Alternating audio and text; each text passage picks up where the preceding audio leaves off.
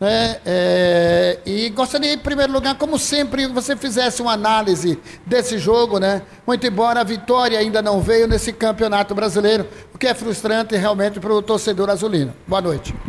Boa noite. É, a gente sabe que não foi o resultado que a gente esperava, né? Que a gente pretendia, que o torcedor também queria. É, é queria tanto essa primeira vitória na competição. É, trabalhamos a semana focado nisso.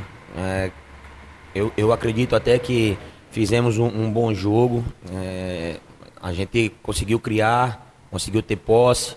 A gente sabe que o, que o momento não é fácil. É, existe uma pressão interna, existe uma pressão externa. É, aconteceu um, um, uma mudança de, de modelo, uma mudança de sistema de jogo.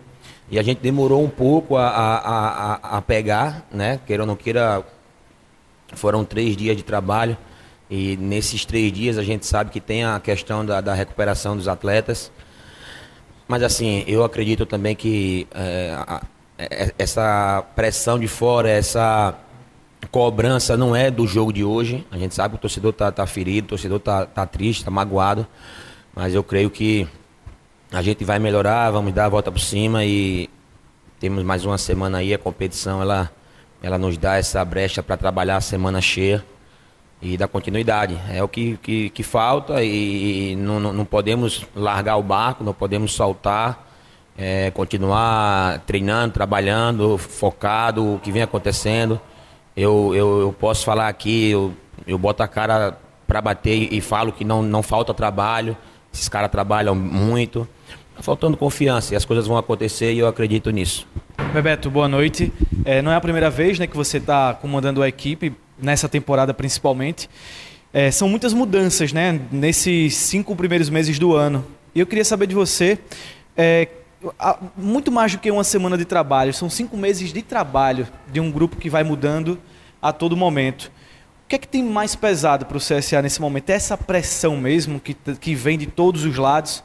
É algo muito do que apenas o que tem sido feito dentro de campo, o trabalho que vocês vêm exercendo? Sim, são cinco meses de trabalho, concordo com você, mas se a gente pegar o grupo que iniciou o ano, eu acho que não vou saber os números certos, mas 80% não está mais com a gente, né?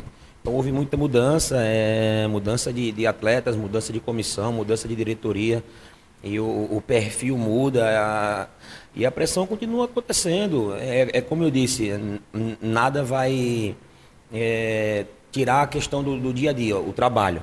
Ah, beleza, o, o grupo não está vencendo, não tem resultado.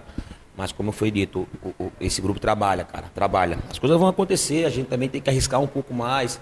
A gente sabe que as coisas não estão não, não tão fáceis, vamos dizer assim, mas chega ali na, na entrada da área, finaliza. A gente teve 57% de posse de bola. A gente chegou mais de 15, 20 vezes no, no último terço. E falta um cruzamento, falta uma finalização, falta um, uma definição maior. A gente sempre cobra no, no, no, dia a dia o início, meio e fim da jogada. E as coisas não estão acontecendo da, da, da, melhor forma possível. Então arrisca, cara, faz um, um, diferente. Vamos, vamos tentar também fazer algo que as coisas aconteçam naturalmente, não só de pé em pé, ali no último texto, arrisca um chute, uma coisa, enfim. Mas acredito que o trabalho vai, vai continuar. O, Vou frisar mais uma vez, o grupo é trabalhador sim, é um grupo fechado, é um grupo focado. A gente hoje teve um retorno de dois atletas importantes para a competição. A gente fica feliz, já entrou aí, jogou 30, 25, 30 minutos. Enfim, continuar trabalhando, agora tem um jogo fora, dois jogos fora. E é o que no vestiário aqui, continuar para ir lá fora e conseguir o, o, o resultado. Boa noite, Bebeto. Amanda Farias, terceirona.com. É, como é que está o ânimo do grupo depois da derrota da semana passada, né, por 5 a 0 Realmente, é, o, o, número de gols afetou é, o ânimo do grupo. E qual a diferença, qual a diferença que você sentiu da partida da semana passada para essa semana? Já mudou? O grupo já está com outro estímulo? É, a gente sabe que a derrota do, do, da semana passada foi uma derrota atípica, né? Há quantos anos não acontece um 5 a 0 na Série C? Uma competição que é muito parelho, uma competição que é muito igual. É, são cinco jogos, né? a gente perdeu para o, o Ipiranga na estreia e perdeu o jogo passado. São três empates. Ah, é o ideal? Claro que não é ideal, está longe de ser o ideal. Mas a gente sabe que a competição é parelha. É só a gente pegar o, os números da competição. Acho que aí tem quatro clubes, cinco, não sei, é, um pouco que distanciou. Mas a gente continua na briga, vamos fazer dois jogos fora, já conversamos aqui no grupo, é, se cobramos muito, se cobramos muito, coisa que eu, que eu, que eu não vejo faz tempo. Tá? Coisa que eu não vejo faz tempo, é um vestiário é, brigão, um vestiário com fogo no olho, para um olhando o outro e se cobrando. E isso, é isso que tem que acontecer. E a gente tá, tá, tá batendo nessa tecla de, de, de, ter mais essa, essa cobrança um com o outro mesmo, interna. Coisa que acontece.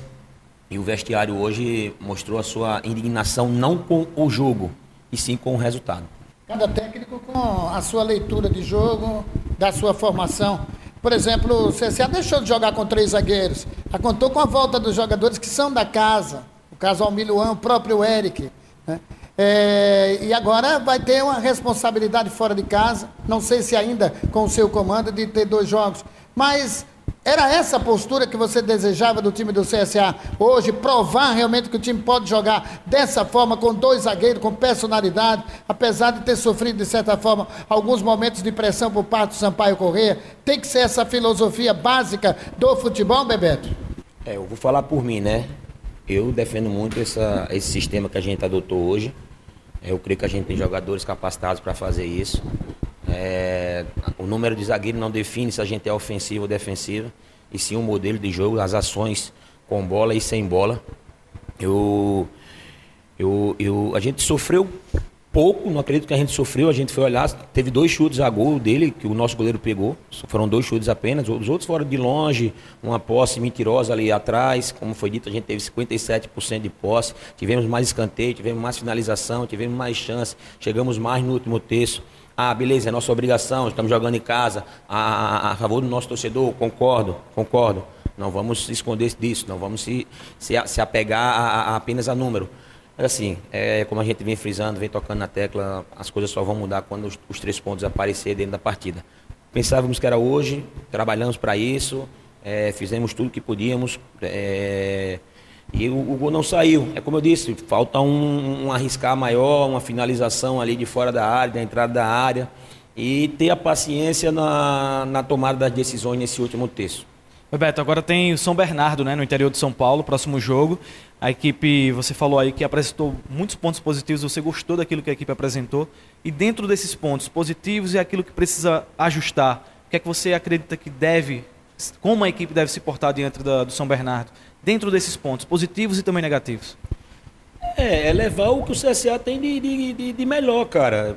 É, é, um time que sempre jogou dentro de casa ou fora, com um, um time aguerrido, um time corajoso, um time que joga para frente. É, não tem como a gente jogar para frente e, e, não sofrer lá atrás, mas como eu, como eu disse, a gente estava equilibrado.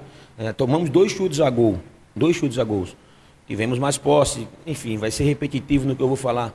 Mas assim, é, é, é vencer, cara só vai apagar tudo que está acontecendo com a cobrança, com a exigência, com, com a, o torcedor, é, é, é, vencer.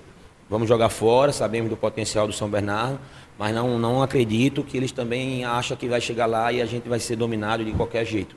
O CSA é grande, o CSA é forte, a gente está trabalhando e a gente vai sair dessa. Só vai sair dessa junto, junto com o torcedor, com o diretor, com os jogadores, e eu tenho certeza que as coisas vão acontecer.